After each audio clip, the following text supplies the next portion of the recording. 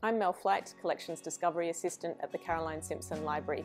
Let's take a quick peek at our current display, Home in the Hunter. This display looks at the changing fortunes of three Hunter region estates represented in our collections. This wonderful panoramic photograph from 1889 shows Thomas Cook's property Turanville, just near Scone. In one of the images you can see the Cook family enjoying tea in the garden with their beloved pets, but a closer inspection of the dogs may be quite surprising. They are in fact not real dogs but terracotta statues. We don't really know whether the statues are meant to represent ex-pets or were simply a decorative feature for the photographs, but I do like the fact that one has been given a bowl of water. The photographs capture Thomas's pride in his expansive garden and beyond the horse paddocks where he kept his prized racehorses. The edges of the garden are beautifully bound by terracotta edging tiles such as this one that was made locally in Newcastle.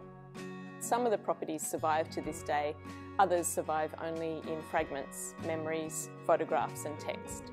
In the Caroline Simpson collection, we are lucky enough to hold three tiles that came from the internal courtyard of Duckenfield Park House. They're very much inspired by medieval tiles that were coming back into fashion in the late 19th century. The one in the centre here, which is slightly thicker, probably came from a fireplace within the house. A photo from the 1970s shows a remnant of the internal courtyard, including the beautiful decorative fountain, which can be clearly seen in our 1888 Coalbrookdale catalogue.